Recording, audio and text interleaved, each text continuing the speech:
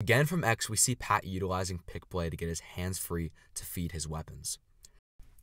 He activates his dodge above the pick right as he sees his pole is level with the pick, forcing him to navigate it. This gives him a buffer, allowing him to either feed or continue his dodge. Here he looks up and doesn't see anyone immediately open, so he continues his dodge.